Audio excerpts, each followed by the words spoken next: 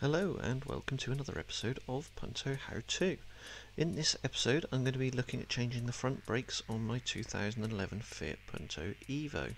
No matter what I do, I always seem to buy cars that need the front brakes doing. This particular car was very cheap, so it was hardly a surprise to find that the front brake pads were very badly worn and that the brake discs themselves were also quite badly worn and lipped. I'll show you this in a minute, but first we need to get the wheels off. So I start by cracking all the wheel nuts and then we get the car off the ground before taking the wheel nuts out and then taking off the wheel. Safety first here guys, always make sure that you secure the handbrake of the car, chop the back wheels and secure the car on an axle stand just to keep it off the ground just in case the jack fails. Before I continue, I just want to take a moment to thank you for watching. If you haven't already done so, please consider clicking subscribe on the button just below the video. Give us a thumbs up and if you've got any questions or comments leave them in the comments section below. As you've probably noticed, because this is the sporting model, it has bright red painted calipers. This was done by Fiat in the factory. It's worth noting though they're not much different from the calipers on the normal Grande as shown here. I removed the two bolts from the carrier, top and bottom. This, um, this holds the caliper onto the back of the carrier and um, allows me to then take the caliper away, leaving the pads and the carrier in place. While doing this, I noticed that the wire for the brake wear sensors has completely severed and detached, so um, I just unplug it and throw it to one side. It's not much use and it hasn't really done its job because I don't have a warning light telling me that the uh, brake pads are worn. Now I can remove the carrier so this is just a case of getting hold of it and giving it a bit of a tug just to pull it away from the rest of the brake carrier. As you can see the carrier and the pads are left behind in place. Be sure to tie the caliper up with a big tie wrap or something to one of the suspension springs just to keep it out of the way and to stop any strain on the brake pipe. There are two more bolts that hold the brake pad carrier in place. To undo these bolts you'll need one of these external Torx sockets. I picked up a set of these for about £10 from my local motor factor.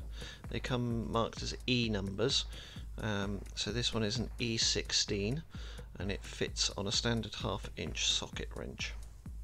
Once we've removed the carrier we can turn our attention to the disc. There are two bolts in the front of the disc that hold it in place.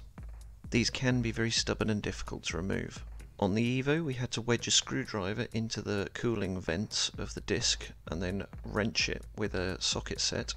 However when I did the Grande they were much easier to remove as you can see here we just used a normal Allen key type Torx bit to undo these bolts. Here's one of the old discs removed from the car. As you can see there's quite a lip around the edge of the disc which I'll try and show you up close where the pads have ground themselves into the into the metal of the brake disc itself. They're quite badly corroded and rusted around the edges as well. Turning our attention to the brake pads, you can see there's not a lot of material left on the brake pad itself, um, maybe a few thousand miles more. Um, here's the other brake pad from the inside, and again you can see there's not a lot of material left on that. And if we just um, compare that to one of the new brake pads which we've got here as well you can see, just bringing that in, that there's a lot of material on the brand new brake pads. Um, it's good sort of half an inch, three quarters of an inch there. These ones are definitely worn out so let's start putting things back together. Here we've got one of the brand new brake discs and they always come with a coating of oil on them to keep them from rusting when they're in uh, transit. So we give them a good clean with some brake cleaner on both sides to make sure there's no grease or oil contaminating the braking surface. I smear a little bit of copper grease on the hub. This just hopefully will stop the new brake disc from sticking and rusting to the hub the next time they need changing. Then I put the new brake disc on the hub, like so. Just being careful of the brake caliper. And then line it up with the holes in the hub and pop one of the screws back in just to hold the brake disc in place. And with the brake disc side of things done, we now turn our attentions to putting the pads and calipers back together. Here is our brake pad carrier and as you can see it's pretty dirty and there's some clips that are pretty rusty and what we need to do now is remove all these clips and fit some shiny new ones which I have here. So a removal of the old clips with a screwdriver. These simply ping off. They don't take any effort whatsoever. And then what I'm going to do is give everything a good spray with brake cleaner. And then with a nylon bristle brush, I'm just going to brush off as much loose dirt and grime as I can just to try and get this as clean as possible before putting the new pads in. I'm then going to remove these sliders. These are what allow the brake caliper to move backwards and forwards and, and grasp on the brake disc. These simply just unpick the uh, seal from the rubber boots around them and then I'm going to take them out and I'm going to give them a bit of a dunk in some grease just to make sure that they move nice and smoothly. And then we refit the new clips into the um, carrier and then once I've refitted them all what I'm going to do is give each one a little smear of grease just a very light smearing just to make sure that the pads themselves can move smoothly within the carrier. This is ready to go back on the car. The carrier goes back on the car and is simply bolted in place with those two large Torx bolts again.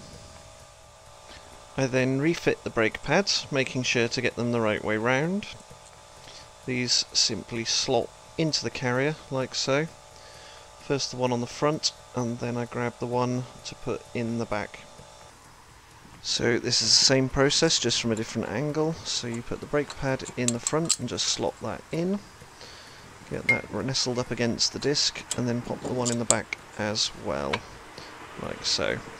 Then what I'm going to do is take a little smear of um, copper slip grease and I'm going to pop that on the back of the brake pads just to uh, just to help reduce brake squeal. Here on the driver's side we pop the pads in as well but you'll notice this inside pad has a wire coming off it. This is the brake pad wear sensor. Theoretically there's a little metal uh, conductor embedded in the brake pad material and as the pads wear down um, this eventually makes contact with the disc and it creates an earthed circuit and this should turn on a little light, light on the dashboard but as you saw from earlier in the video, the, the wire had been chewed through by the edge of the brake disc and this had detached and hadn't actually worked. However, with some new brake discs and uh, new pads, this stands much more chance of working as there won't be such a lip on the edge of these brake discs when these pads eventually wear out. It was the rusty lip on the old brake discs that had actually just cut through the wire eventually. Now you may have noticed how far out the piston is sticking here. We need to push that back in, but the fact that it's sticking out so far just gives you some indication of how badly worn the brakes were.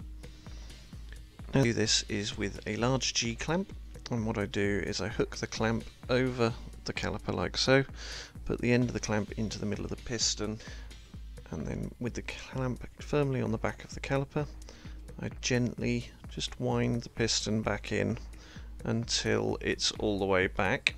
When you do this, take the lid off the reservoir for the brake fluid so it, the fluid can move backwards up into the reservoir without air getting trapped and compressed inside the reservoir. It's not a pressurized reservoir like the coolant system, therefore you don't want that pressure to, to burst the reservoir and then you have a brake fluid leak inside the engine bay. Once that piston is pushed all the way back, remove the clamp and then you should be able to simply slot the caliper over the back of the new brake pads obviously in this case being sure to feed the wire for the uh, brake wear sensor through the middle of the caliper. I'm then going to clip the brake wear sensor wire in place on the back of the caliper and then I'm going to plug it back into its wiring connector connecting it to the car. And finally, we pop the two little bolts back in that hold the caliper onto the um, sliders for the carrier. Um, and we tighten these up and that is the whole brake caliper carrier and disc assembly all renewed, refreshed and ready to go back into work. This is what the finished article looks like on the passenger side of the car. As you can see, it all looks nice and clean and shiny. We've got new Brembo pads in there and some nice shiny new discs as well. Finishing off, we put the wheels back on the car and then we lower the car down to the ground before we tighten up the wheel bolts to make sure that we get enough torque on them. Um, the last thing we want is the wheels to come off having done all this work on the brakes. We then take the car out on a careful test drive just to make sure everything's working properly. It's going to take probably about 200 miles or so for these to all fully bed in, but they should be working pretty well straight from the start, especially compared to with the uh, old brakes and how badly worn they were.